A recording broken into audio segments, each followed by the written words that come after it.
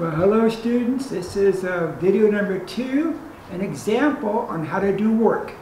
Watch it very carefully. Find the work done by F, there's a force.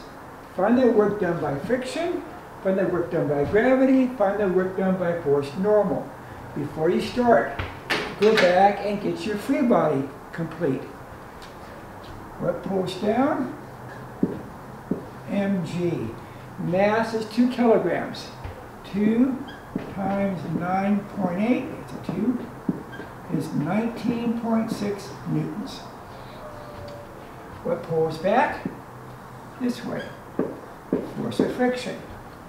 This is my force normal. And there's my force F. Now be careful. I want to make sure that I want to use work correctly. Work is a dot product. Dot product means F cosine of the angle, which really means the force acting in the x direction. So force acting in the x direction. From the concept, you do work, you want force and the distance in the same direction. There's your force, I mean there's your distance. Force is this way, you want the force acting this way. You want to have the component of force acting this way to draw your components in. There's Fx, there's Fy. Let's compute these. Fx, there's the angle. That's adjacent to the angle. Adjacent's cosine. So we have 20 cosine 60, which is 10 newtons. This is 10 newtons. Then Fy is opposite the angle. Opposites always sine. This is going to be 20 sine 60, which is 17.3 newtons. This is 17.3 newtons. Before you go on, be careful. I know mg, mg is 19.6, 19.6. There's fx 10. There is force normal, force Fy, 17.3. I don't know force normal, but I do. 19.6 down, 19.6 up. There's no acceleration in the y. This has to be 19.6? No. This is up, this is up.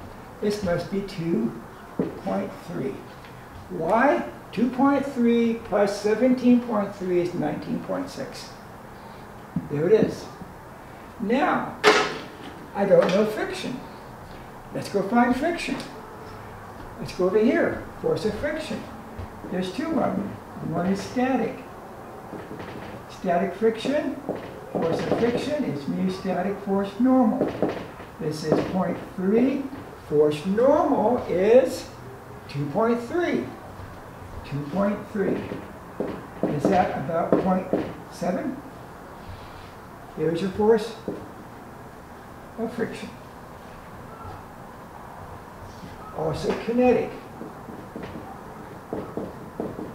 Kinetic is friction mu kinetic force normal. 0.2. 0.2 times force normal. 2.3. That's 2.3. That gives you 0.46. Now we stop and think. This is kinetic friction, 0.46. This is static friction.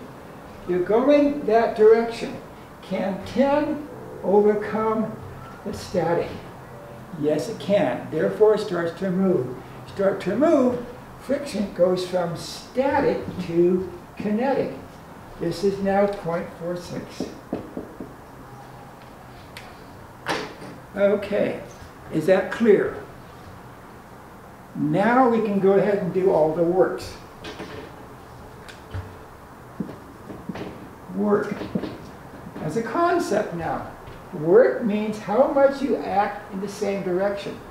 That'll work, or I can say force in the x times x times x. That's force x cosine of the angle. That'll work, but F cosine theta is this. You want to know how much force is this direction? This force times that distance. This is 10 times 6. You get 60 joules. There is your work done by that force. You want that force and that distance. We want the force in the same direction as the distance. Find the work done by friction. Work done by friction. That's the force of friction times distance. Cosine of the angle. Now be careful here. Force of friction is 0.46. The distance is 6 meters. And the angle is, angle between these two, there's your distance, there's your force of friction. Angle is 180. So 180, cosine of 180 is negative 1.46 times 6 is 2.76. This is 2.76 joules, but it's negative. Why negative? Because the cosine of 180 is a negative 1. That's a negative work. 0.46 times 6. 0.46 times 6 angle is cosine 180. Back over here, look at it carefully, when I was doing this, the angle between these two is 0. Cosine of 0 is 1. So cosine of 0 is 1, therefore this stays as fx times x. So this angle here is 0 between these two vectors. This angle is 180 for these two vectors. One more. Gravity. Work done by gravity. Force of gravity times distance. Cosine of the angle. Well, the force of gravity is 19.6. The distance is 6. And the angle between this and this is 90. And the cosine of 90 is 0. 0 joules. There's no work done by friction. The work's this direction. Again, remember the dot product. How much one vector is in the other vector's direction. This is y. This is x. There's no y in x. Therefore, no component this way for y. Or by the angle. The angle is 90. Between there's mg, there's 6 distance, and mg is 90. Look at by force normal. Force distance, cosine of the angle. Force normal is 2.3. 2.3 times 6 cosine of 90. Again, this is 90.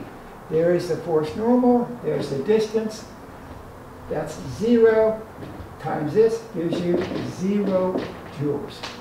Before we stop now, you do dot products. It means how much one vector is in the other vector's direction.